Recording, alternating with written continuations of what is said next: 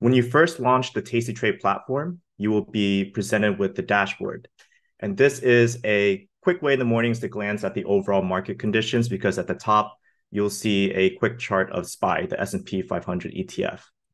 And directly below that, there will be a section for any relevant news that's coming into the market. And this is updated on an hourly basis and also a refresh button that you can click. Then to the right, you're going to see some general information about your account, such as your account number, general account metrics such as the equity curve over time, current balances, P&L performances, and your available buying power. If we scroll down below this, you're going to see a quick list of companies with upcoming earnings on the left side.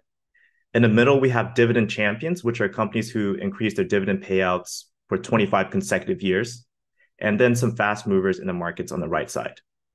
Now, for any reason, if you don't want to see this dashboard when you sign in, then in the bottom left corner, right here, you have a function to toggle off the dashboard when the platform is launched. So in the future, when you toggle this off and sign in, the dashboard will no longer pop up. Okay.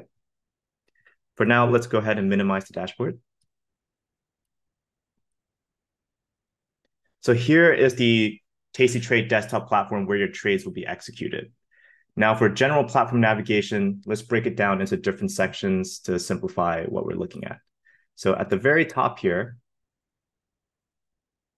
you'll see an account number if you're not in privacy mode, some current balances, performance details such as your P&L metrics again, and available option and stock buying power. We also have a day trade counter and today's trades counter at the top here as well. And then also delta and theta as well. So this can help provide a snapshot of your overall portfolio and it'll help you understand your position's risk and time decay effectively.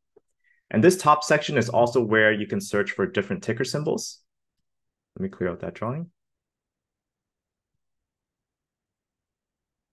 So right now it's currently on NVIDIA, but if we left click on the active symbol, we can type in any other ticker. So if I type in Netflix and then hit enter on my keyboard, we'll immediately see the quotes populate for Netflix. If you don't know the ticker symbol, instead you can type in the company's name. For example, if I type in Salesforce, and in this case, the ticker is CRM, and it will be in the drop-down menu for us to select, okay? And then let me review the left side panel over this side. This is for your watch list and any recent symbols that were looked up.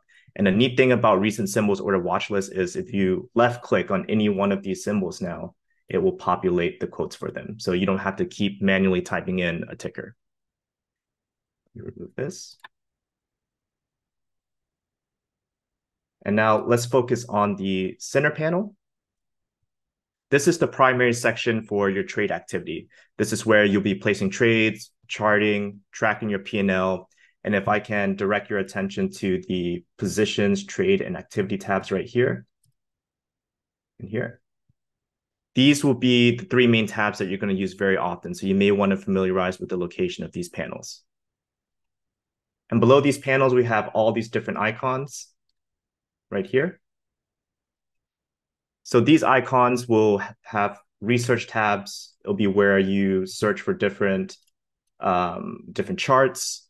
You can view companies' financials, news, forecasts. So this is where you do your fundamental and technical analysis right here.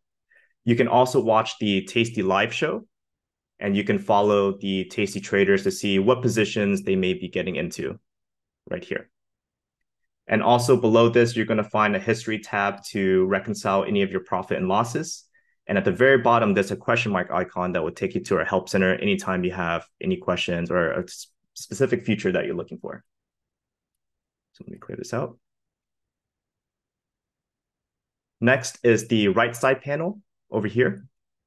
So the right side panel is essentially an abbreviated version of the middle panel. So it can be collapsed or expanded by left clicking on the arrow inside the square. If you're using a secondary monitor, you can actually pop this window out and then drag it to the other monitor by clicking on this arrow right here. So the right side panel, it'll provide you a general overview of your accounts and this trade activity, and also a unique feature we have at tastytrade called order chains. And this will track your performance on options as you make adjustments and roll them out.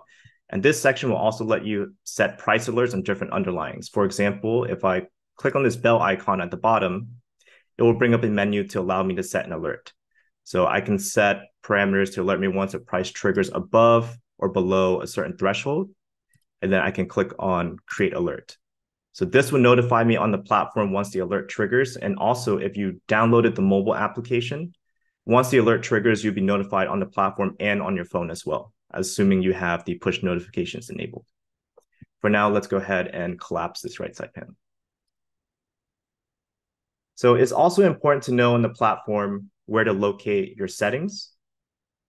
So anywhere you see a gear icon right here, here, and here, this will bring up the platform settings. So if I left click on here, there's a lot of features on the platform, so you may want to customize it however way you want to. For example, if I go in general, and then this platform is a little bit too dark or you have troubles reading the contrast due to the darker version, you can left click here where it says use light color theme, and it will bring the platform to a light mode.